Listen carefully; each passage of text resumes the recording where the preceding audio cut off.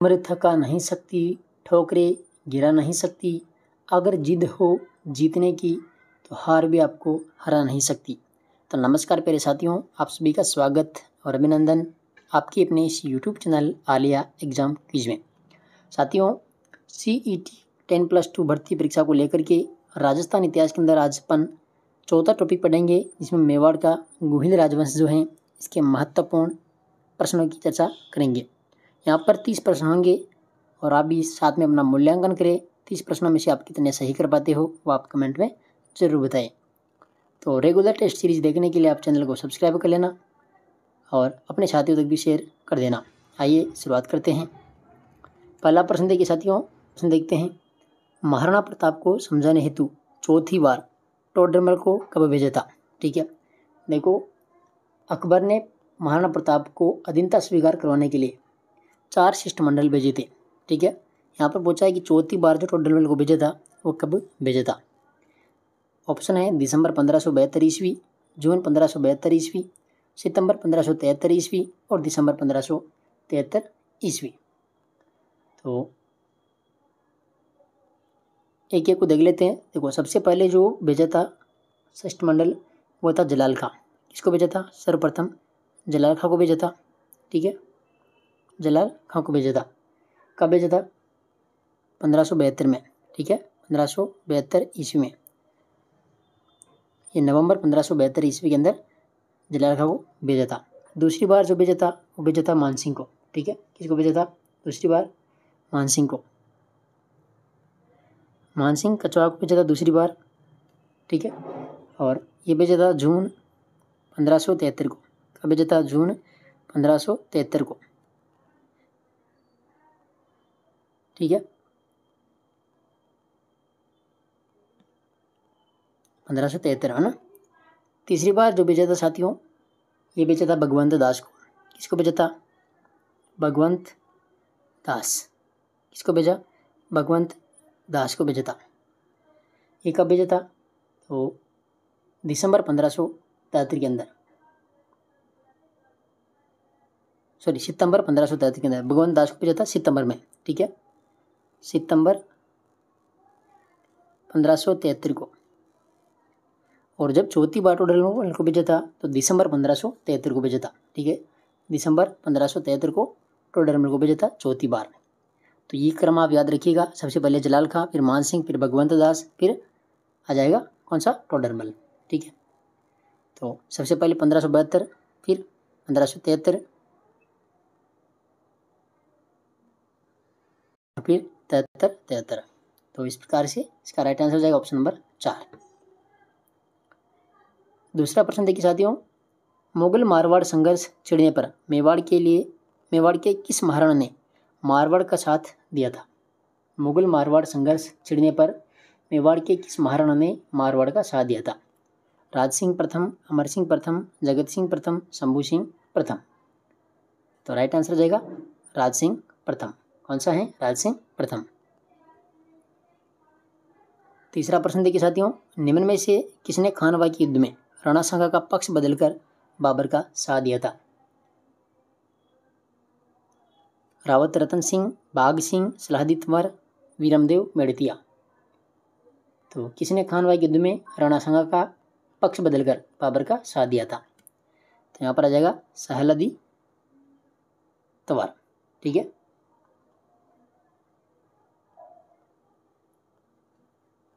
चलिए, अगला प्रश्न देखिए, चार नंबर।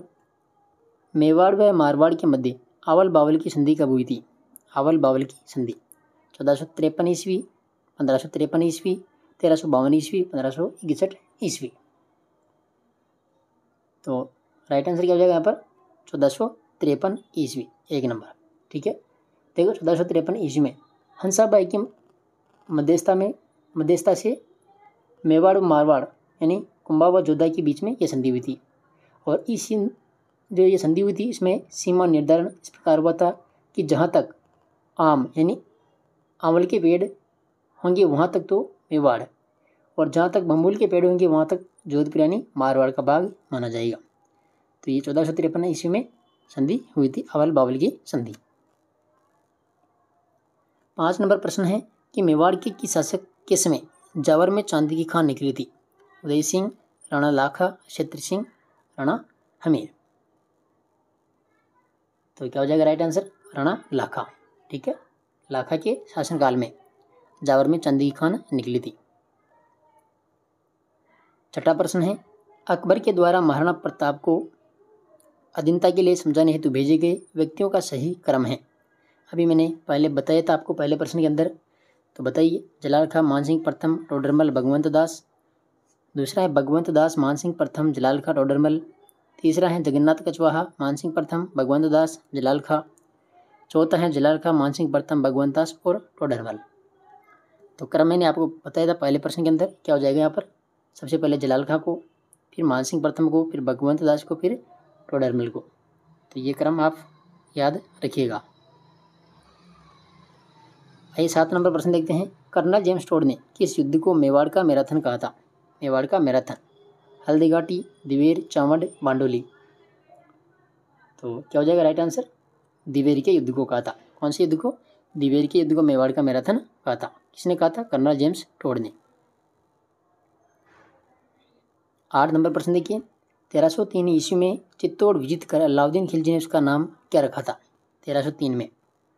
खेराबाद, खिजराबाद, जलालाबाद या फिर खिलजीबाद? यहाँ पर राइट आंसर क्या हो जाएगा? खिजराबाद, ठीक है? अलाउद्दीन खिलजी ने चित्तौड़ पर आक्रमण किया था तेरह सौ तीन में और जीतने के बाद में अपने पुत्र खिजर के नाम पर खिजराबाद इसको रखा था। प्रश्न नंबर नौ। सत्रह जुलाई सत्रह सौ चौंतीस ईस्वी को हुरडा सम्मेलन, जो भीलवाड़ा में हुआ था, इसकी अध्यक्षता मेवाड़ के किस महाराणा ने की थी। संग्राम सिंह द्वितीय जगत सिंह द्वितीय राज सिंह द्वितीय भीम सिंह। तो राइट आंसर क्या हो जाएगा यहाँ पर? जगत सिंह द्वितीय। कौन है? जगत सिंह द्वितीय। प्रश्न नंबर दस है, मेवाड़ के किस महाराणा को great commander of the star of the India की उपाधि दी गई थी? सरदार सिंह, स्वरूप सिंह, भीम सिंह या फिर शंभू सिंह? तो मेवाड़ के किस महाराणा को great commander of the star of the India की उपाधि दी थी? तो वह था शंभू सिंह। ग्यारह नंबर प्रश्न है। चित्तौड़गढ़ के प्रथम शाक्य किसमें रतन सिंह के सेनापति के रूप में महत्वपूर्ण भूमिका किसने निभाई थी? जयमल कल्ला राठौड़ जेता कोपा, गोरा बादल, जयमल फत्ता। तो यहाँ पर महत्वपूर्ण भूमिका निभाने वाले कौन थे? गोरा बादल। कौन थे? गोरा बादल। देखो चित्तौड़ का जो प्रथम शाखा हुआ था, तेरह सौ तीन में। कब हुआ था? तेरह सौ तीन ईस्वी में हुआ था। ठीक है? पहला शाखा, जिसमें अलाउद्दीन खिलजी ने चित्तौड़ पर आक्रमण किया था और जिसमें ये गोरा बादल क्या हुए थे? मारे गए थे। बारह नंबर प्रश्न है कि चंपानेर की संधि किन राज्यों के मध्य हुई थी? कौन सी संधि? चंपानेर की संधि। गुजरात व उदयपुर, कुंभलगढ़ व जोधपुर, मालवा व गुजरात, जयपुर व जोधपुर। तो चंपानेर की संधि हुई थी मालवा और गुजरात के बीच में। ठीक है, मालवा व गुजरात के बीच में। प्रश्न नंबर तेरह है। भूताला का युद्ध किन के मध्य हुआ था? जतर सिंह व इल्तुतमिश, समर सिंह व इल्तुतमिश जतर सिंह व अलाउद्दीन समर सिंह व अलाउद्दीन भूताला का युद्ध। देखो, सबसे पहले भूताला का युद्ध हुआ कब था? भूताला का युद्ध कब हुआ था? तो ये हुआ था बारह सौ सत्रह, बारह सौ सत्ताईस में। बारह सौ सत्ताईस ईस्वी में भूताला का युद्ध हुआ था, ठीक है? तो ये किन के मध्य चलाया गया था? चित्र सिंह व इलतुतमिश के बीच में, ठीक है? चित्र सिंह व इलतुतमिश के बीच में होता। और इस युद्ध में जो चेतर सिंह था इन्होंने तुर्की सेना को मेवाड़ से भगा दिया था, ठीक है? तो बारह सौ सत्ताईस में होता कौन सा युद्ध? भूताला का युद्ध, याद रखिएगा। चौदह नंबर प्रश्न है, हल्दी घाटी के युद्ध के बाद निम्नलिखित में से किन सेना नायकों के नेतृत्व में अकबर ने महाराणा प्रताप के विरुद्ध सैनिक अभियान भेजे थे? अब्दुल रहीम खान ए खाना साहबाज खां, जगन्नाथ कछवा उपयुक्त सभी।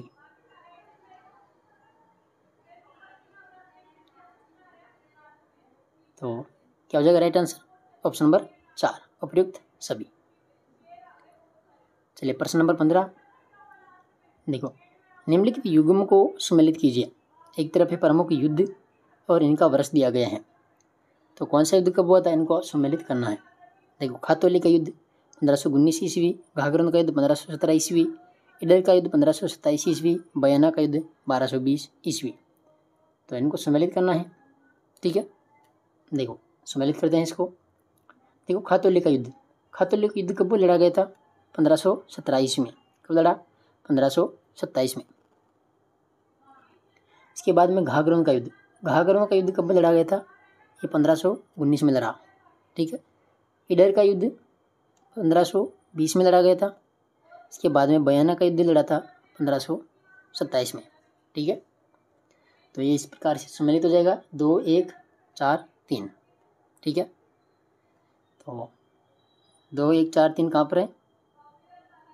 ऑप्शन नंबर दूसरा, ठीक है?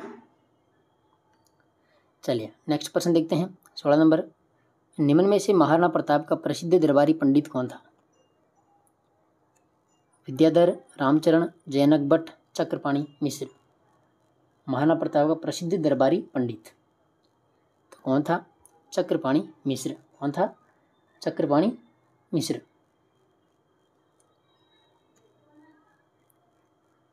चलिए। नेक्स्ट प्रश्न देखिए सत्रह नंबर। सोलह सौ पंद्रह ईस्वी में मेवाड़ मुगल संधि किनके मध्य हुई थी। अमर सिंह प्रथम व जहांगीर, महाराणा प्रताप व अकबर जहांगीर व जगत सिंह प्रथम महाराणा राज सिंह व औरंगज़ेब। जो मेवाड़ मुगल संधि कब हुई थी? सोलह सौ पंद्रह ईस्वी में। इन इनके मध्य हुई थी। तो ये अमर सिंह प्रथम और जहांगीर के बीच में। अमर सिंह प्रथम और जहांगीर के बीच में हुई थी मेवाड़ मुगल संधि। अठारह नंबर प्रश्न है। मेवाड़ के महाराणा प्रताप के विरुद्ध मुगल सम्राट अकबर के अंतिम आक्रमण का नेतृत्व किसने किया था? मान सिंह, टोडरमल, जगन्नाथ कछुआ, जलाल खां।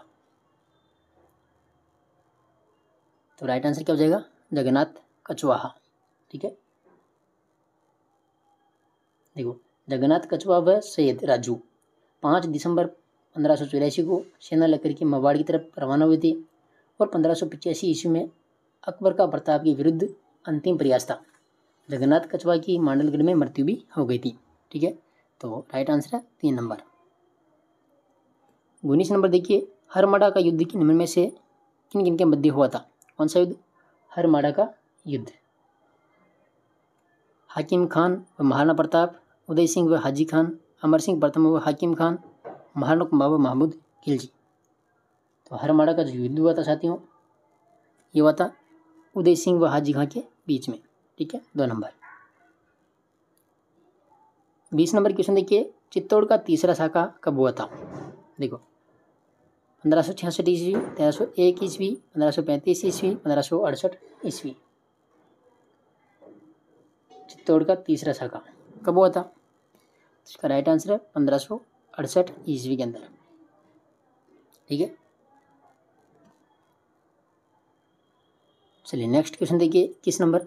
मेवाड़ की राजकुमारी कृष्णा कुमारी जिसके विवाह को लेकर जयपुर व जोधपुर के मध्य संघर्ष हुआ, यह मेवाड़ के किस सगी पुत्री थी। कौन? कृष्णा कुमारी। महाराणा भीम सिंह महाराणा जवान सिंह, महाराणा स्वरूप सिंह और महाराणा शंभू सिंह। तो कृष्णा कुमारी किसकी पुत्री थी? ये थी महाराणा भीम सिंह की, ठीक है? किसकी थी? महाराणा भीम सिंह की। देखो, ये जो कृष्णा कुमारी थी, इसकी सगाई हुई थी महाराणा भीम सिंह के साथ में, ठीक है? किसके साथ में थी? भीम सिंह के। और इनकी शादी से पहले मृत्यु हो गई थी, ठीक है? फिर राजकुमारी की सगाई जयपुर के जगत सिंह के साथ कर दी, जिसके कारण भीम सिंह के भाई था रतन, कौन? मान सिंह। और मान सिंह को बुरा लगा और इस प्रकरण के कारण गिंगोले कैद हुआ था अठारह सौ सात ईस्वी में, ठीक है? तो पूछा क्या है यहाँ पर कि कृष्णा कुमारी किसकी पुत्री थी? तो महाराणा भीम सिंह की। चलिए अगला प्रश्न देखिए बाईस नंबर। निम्न में से कुंभलगढ़ दुर्ग में बारह खंभों की छतरी की शासकी बनी हुई है। राणा हमीर महाराणा उदय सिंह, कुंवर पृथ्वीराज महाराणा प्रताप। तो क्या हो जाएगा यहाँ पर? किसकी है? कुंवर पृथ्वीराज की। ठीक है? किसकी छतरी है? कुंवर पृथ्वीराज की। तेईस नंबर क्वेश्चन देखिए। चित्तौड़ की दूसरी साइकी में देवलिया, प्रतापगढ़ के महाराणा का प्रतिनिधि बनाया गया था।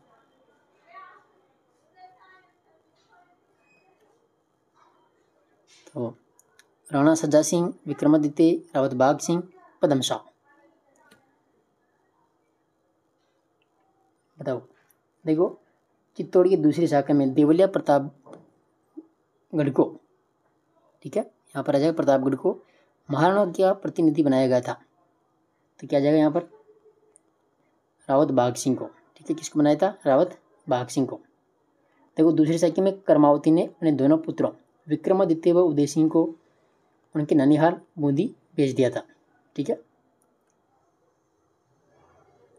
चौबीस नंबर प्रश्न है कि मेवाड़ का वह शासक जिसने अपनी पत्नी तारा के नाम पर तारागढ़ किले का निर्माण करवाया था, महाराणा रायमल, महाराणा संग्राम सिंह और पृथ्वीराज महाराणा भीम सिंह। तो यहाँ पर राइट आंसर है, कुंवर पृथ्वीराज ने। किसने करवाया था? पृथ्वीराज ने। पच्चीस नंबर क्वेश्चन है। मेवाड़ चित्रकला शैली का ताड़पत्र। चित्रित प्रथम उपलब्ध ग्रंथ, श्रावक प्रतिक्रमण सूत्र चूर्णी किसके शासनकाल में चित्रित हुआ था। तेज सिंह, समर सिंह, समंत सिंह, रतन सिंह। तो इसका राइट आंसर हो जाएगा, तेज सिंह। छब्बीस नंबर क्वेश्चन है हल्दी घाटी के युद्ध में महाराणा प्रताप के घायल होने के बाद उन्हें रण क्षेत्र से बाहर निकालने पर किसने महाराणा प्रताप का स्थान लिया था? रावत बाग सिंह, शक्ति सिंह जला बिद्दा पठान, हकीम का सूर तो राइट आंसर है झाला बिद्दा ने, ठीक है? देखो, युद्ध में प्रताप की घायल होने पर बड़ी सादड़ी के झाला बिद्दा ने राज सिंह का यहाँ पर राज सिंह धारण किया था और महाराणा प्रताप को युद्ध के मैदान से बाहर निकाला था। और बिदा मुगल सेना से लड़ते हुए यहाँ पर वीर गति को प्राप्त हुए थे, ठीक है? इन्होंने राज धारण किया था। सत्ताईस नंबर क्वेश्चन है। निम्न में से किसे मेवाड़ का उद्धारक कहा जाता है? महाराणा प्रताप बामाशाह ताराचंद कुंवर चूड़ा तो मेवाड़ का उद्धारक कौन है? बामाशाह ठीक है, कौन है? बामाशाह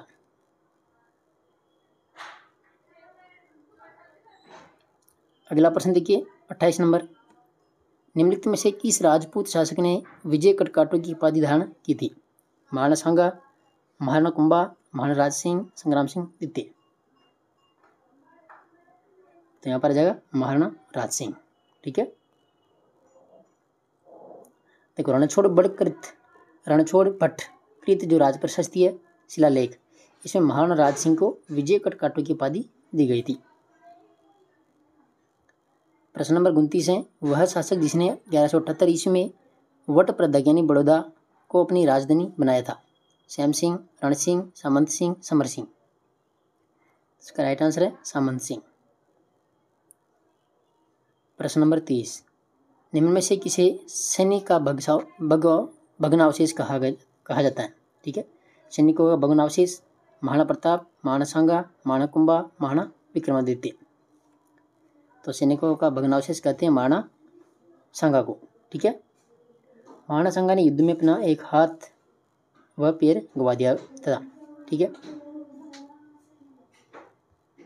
और शरीर पर अस्सी से अधिक घाव हो गए थे, फिर भी सैनिक की तरह युद्ध से युद्ध में लड़ता रहा और इसी कारण इसको सैनिकों का भग्नावशेष भी कहा गया था। किसको महाराणा सांगा को तो ये महत्वपूर्ण तीस प्रश्न थे गुहिल राजवंश को लेकर के।